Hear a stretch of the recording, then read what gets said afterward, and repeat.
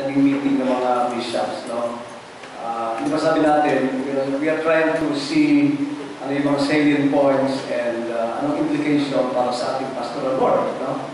And uh, lumabas doon na una, ah, hindi pabor ang mga bishops doon sa chapter change, no?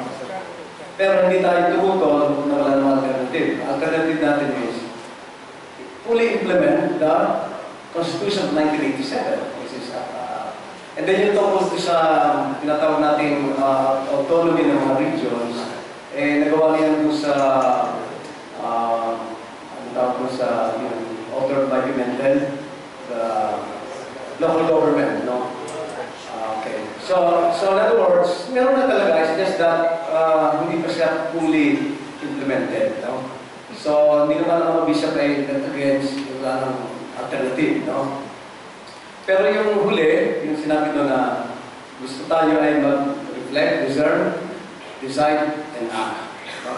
So, siguro, imagine na tayo uh, mag-reflect. Once na nasa atin na yung kopya na sabi nga ni Bishop, and I, I, I think maganda po yun, no? na translate sa vernacular, Tagalog, Kapampangan, whatever, and shorten it uh, in a way that uh, people can easily digest. No? Kasi this is a very fundamental question affecting our political life. No?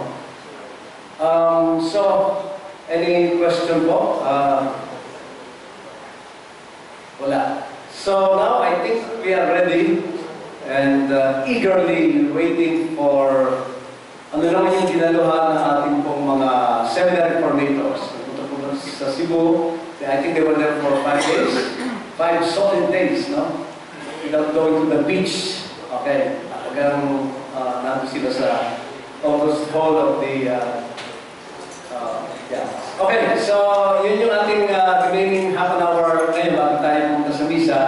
And uh, I'd like to ask now who will start ball rolling? Uh, Director of the Theology?